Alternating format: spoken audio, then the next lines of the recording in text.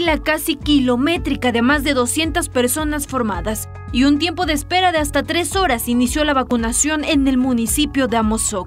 Se aplicaron primeras dosis a personas de 30 a 39 años, embarazadas y rezagadas, así como segundas dosis a mayores de 40 años. Recibieron los biológicos de la marca Sinovac y Pfizer. Esta tercera ola que viene es importante cuidar a la familia, ¿no?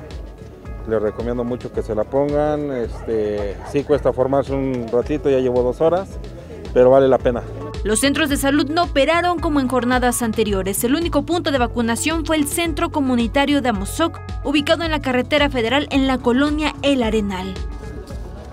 Registro de mi vacuna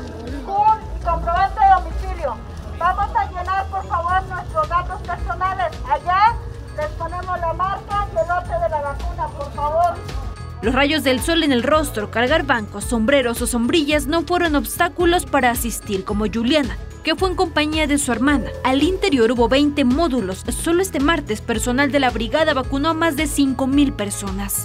Para cuidarnos a nosotros y cuidar a, nuestro entorno, ¿no? a las demás personas, porque pues sí, es algo muy importante que debemos de hacer.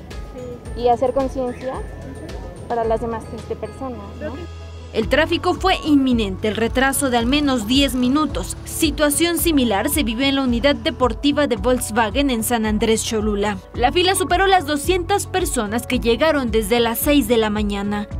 Muy rápido, mucho mejor organizado y muy contento. ¿Pero llegó a formar? A las 7 de la mañana. A las 8 y media ya Y ya estamos afuera. ¿Adentro qué tal? Muy bien, muy organizado.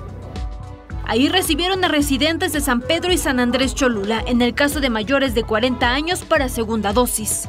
Para primeras dosis de 30 familiares de trabajadores y trabajadoras de la planta armadora accedieron inmediatamente. En este punto, a través de una camioneta con perifoneo, se le indica a la población la documentación que debe llevar. ¿Qué indicación te dieron? Que pase con mi esposa directo a, a la vacuna. ¿Te pidieron identificación algo de la empresa? Sí, la credencial de la empresa, ya con eso. Aunque la afluencia fue cuantiosa, destacó la agilidad y organización del proceso que no duró más de dos horas. Con imágenes de Neri Lucero para Set Noticias, Iris Becerril.